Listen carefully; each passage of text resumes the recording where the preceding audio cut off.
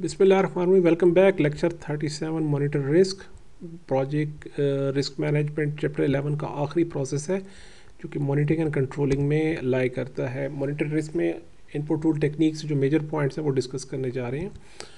Monitor monitoring में देखिए हमारे पास एग्जीक्यूशन जहाँ चल रही है, उसके साथ हमने मॉनिटर करना है। देखिए, आपके रिस्क ट्रिगर्स पे हमने पूरी नज़र रखनी है, हमने रिजिडल रिस्क को देखना है, जो हमने बैकअप प्लान रखे हैं। न्यू रिस्क को देखना है। हमारे पास न्यू रिस्क जो आने वाले हैं, उनको देखना है। उनको एनालाइज करके फर्दर जो एग्जीक्यूशन के लिए उसका प्लान रेडी रखना है। हमने मोस्ट इंपॉर्टेंट चीज़ इफेक्टिवनेस देखनी है अपने रिस्क मैनेजमेंट प्लान की। जितना हमने टाइम और मनी और जितनी एनर्जी इन्वेस्ट की है यहाँ पर, कितना इफ़ेक्टिव है वो वो आपको मॉनिटरिंग कंट्रोलिंग रिस्क के इस प्रोसेस में पता लगेगा। न्यू रिस्क रिस्पॉन्स डेवलप करने हैं। हमारे प्रीवियस की इफेक्टिवनेस कुछ ज़्यादा अच्छी नहीं जा रही। फ़ौरन से पहले आपका एग्जीक्यूशन चल पड़ा है तब भी हमने न्यू रिस्क रिस्पॉन्स प्लान साथ साथ चलाना है अगर उसकी ज़रूरत पड़ रही है।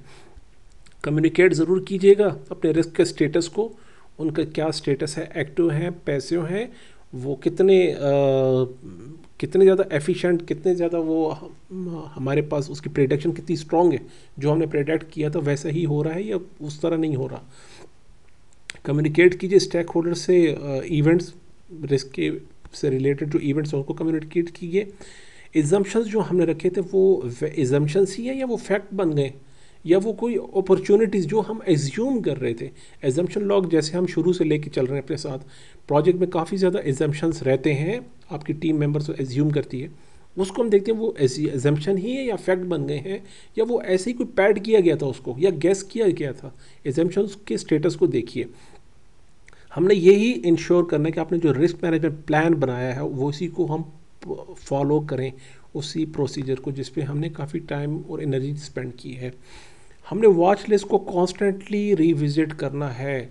कॉन्स्टेंटली देखेंगे, फिर उनके हिसाब से हमने रिस्क रिस्पॉन्स भी डिटरमिन करने हैं और रिस्क रिस्पॉन्स हमने लेकर आना है, उसको हमने प्लान करना है।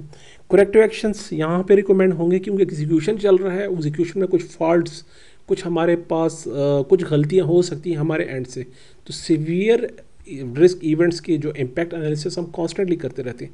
जैसे मैंने कहा, शुरू से आखिर तक इम्पैक्ट एनालिसिस हम कॉन्स्टेंटली देखते रहते हैं इवेंट के रिस्क के स्टेटस चेंज होने की वजह से न्यू रिस्क आने की वजह से।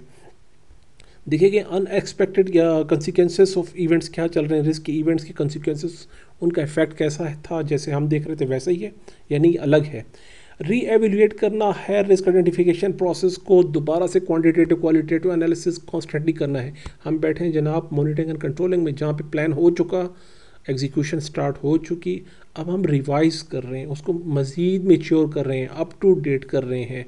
उसको हम जो रियलिटी है, उसके साथ हम इंटीग्रेट करके चल रहे हैं अपने प्रोजेक्ट प्लान को।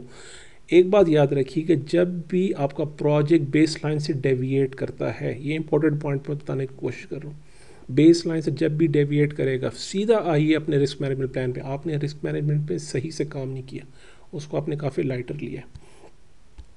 और इसमें बात क्या है? इसमें यही हम risk management plan response plan को अपडेट करेंगे। चेंजेस को देखेंगे करेक्टिव प्रिवेंटिव एक्शंस को रिकमेंड करेंगे। यहाँ पे हम खुद भी चेंज रिक्वेस्ट लेकर आ सकते हैं। खुद भी जहाँ हमें ज़रूरत फील होगी प्रोजेक्ट मैनेजर अपनी टीम के साथ इंटीग्रेशन इंटीग्रेट चेंज कंट्रोल में उसको रिकमेंड करेगा चेंजेस को। अपडेट करना है प्रोजेक्ट प्लान और उसके डॉक्यूमेंट्स को, हमने डेटाबेस क्रिएट करना है रिस्क मैनेजमेंट का। लेसन लर्न इंपॉर्टेंट चीज़ है, जब जो चीज़ आप कंज्यूम कर रहे हैं, जिससे आप फ़ायदा उठा रहे हैं लेटर ऑन आपने उसमें कंट्रीब्यूट करना है। लेसन लर्न आपने अपने प्रोजेक्ट में क्या सीखा, वो कंट्रीब्यूट भी करना है साथ में। और जो रिस्क का बेस है, उसको हमने साथ अपडेट करना है। वेरियस एनालिसिस ट्रेंड एनालिसिस दोनों साथ साथ चलेंगे। पर on on the base of project performance data जो रियल डाटा आ रहा है, उसकी बोस पे बेस पर हमने वेरिएंस एनालिसिस और ट्रेंड एनालिसिस करना है। इस पर हमने पहले, पीछे भी बात की है हमने शायद, काफ़ी चैप्टर्स में हमने इस पर बात कर चुके हैं। क्वालिटी मैनेजमेंट में भी हमने की है। स्केजल मैनेजमेंट में कॉस्ट मैनेजमेंट में वेरियंस एनालिसिस पर बात हो चुकी है हमारी। कंटीजेंसी रिज़र्व देखिए कितना इफ़ेक्टिव जा रहा है? एडजस्टमेंट कीजिए मज़ीद की ज़रूरत पड़ रही तो फ़ौरन से पहले अपना प्लान अपडेट कीजिए उसका अप्रूवल लीजिए मैनेजमेंट से कि जो रिज़र्व्स हमने लिए थे वो आ, कितने रियलिटी के नज़दीक हैं? देखिए बाद में फ्यूचर तो किसी को नहीं पता कि फ्यूचर में क्या होने वाला है। तो जो आप एंटिसिपेट कर रहे थे जो आप कंसिडर कर रहे थे कंटीजेंसी रिज़र्व वो कितने हद तक वैलिड है कितना करीब है रियलिटी से? जो भी फैक्ट होगा उसको सामने रखते हुए दोबारा से हम रिवाइज करेंगे अपने कंटीजेंसी रिजर्व्स को।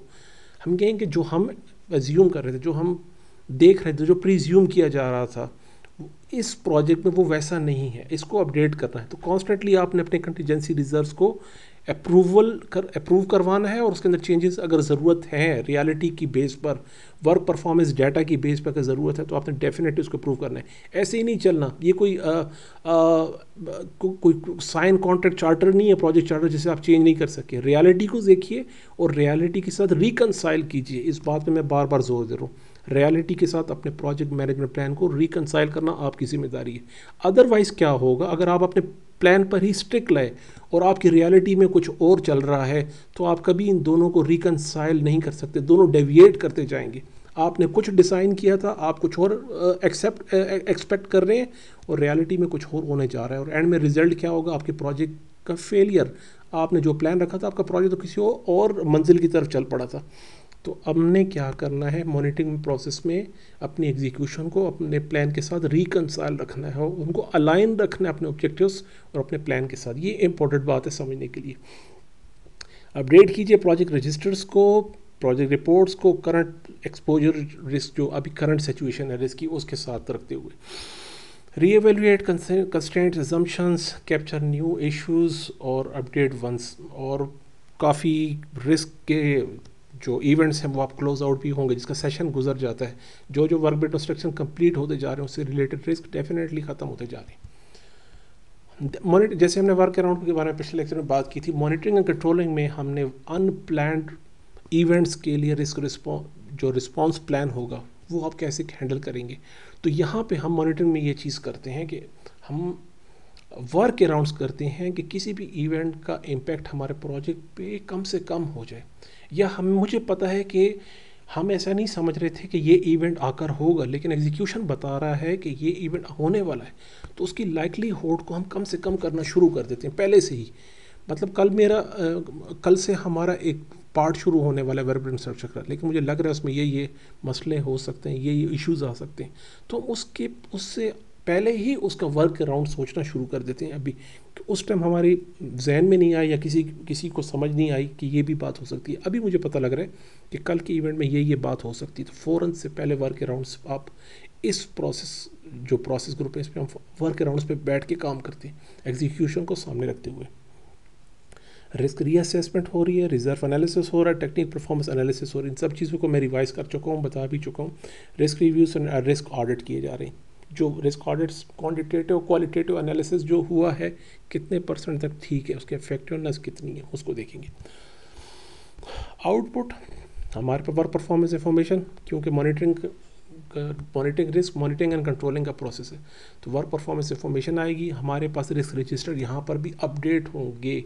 अपकमिंग रिस्क हमारे सामने आ रहे हैं रीअसेसमेंट की वजह से री असेसमेंट में रिस्क के ऑडिट से उनकी जिन्हें हमें वॉच लिस्ट में लगा था, वो तो सीवियर वो तो काफ़ी करीब आ गए और जिनको हमने सीवियर समझा था, वो तो वॉच लिस्ट में होने चाहिए थे वो तो इतने इंपॉर्टेंट नहीं है। ये कुछ इस तरह का डाटा या इस तरह की इंफॉर्मेशन हमारे सामने आ रही है।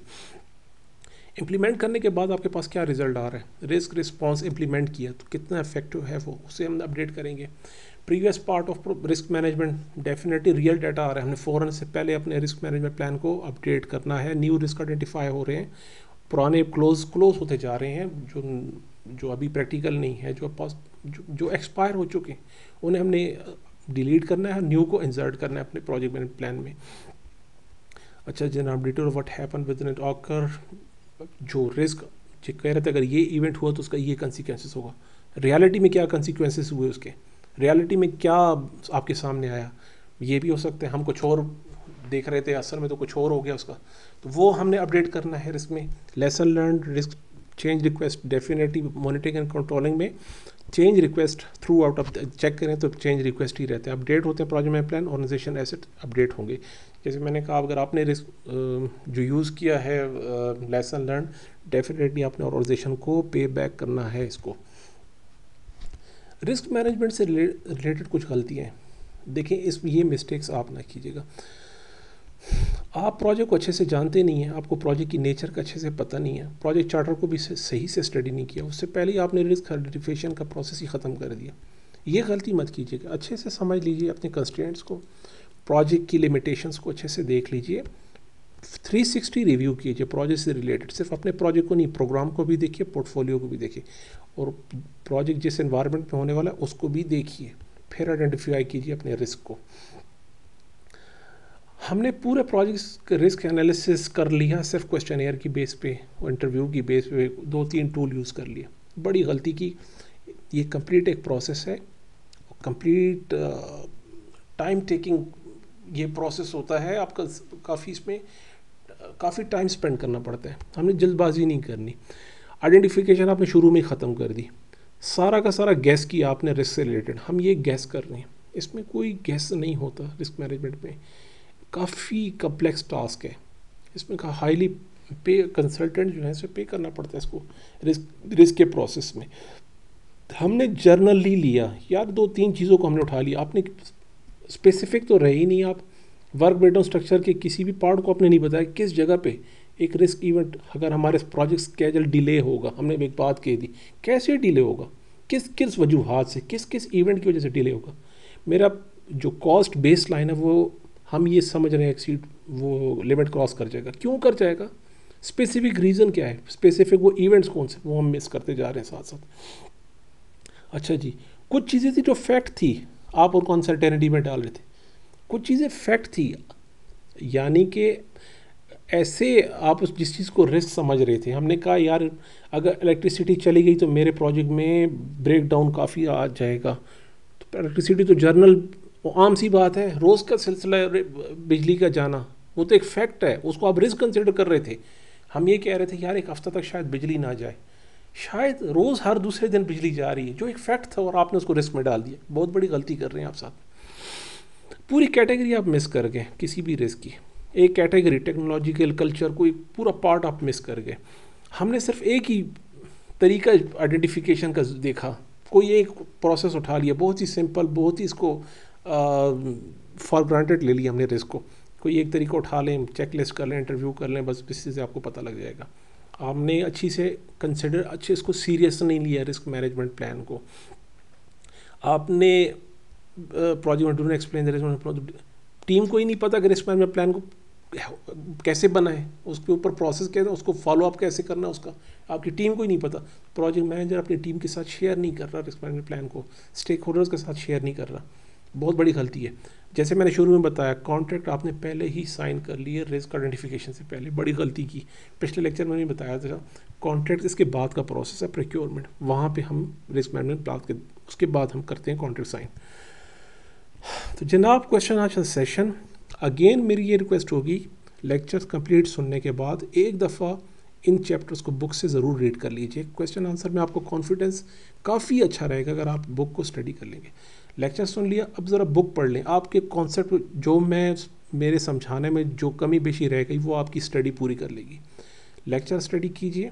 लेक्चर को सुनिए अच्छे से, उसके बाद बुक स्टडी कीजिए। उसके बाद आइए क्वेश्चन आंसर सेशन में। ये मेरी आपसे गुजारिश है रिक्वेस्ट है।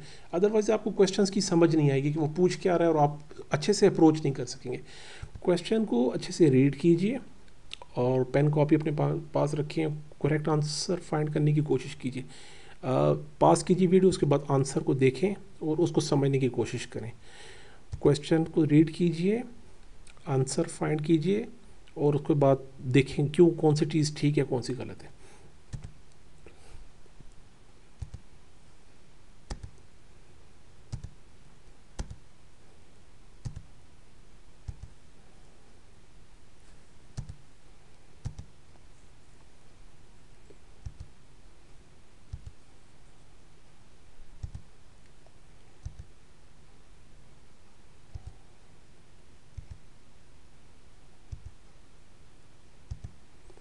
थैंक यू सो मच तो जनाब, ये हमारा रिस्क मैनेजमेंट का कंप्लीट चैप्टर ये हमारा कंप्लीट हुआ।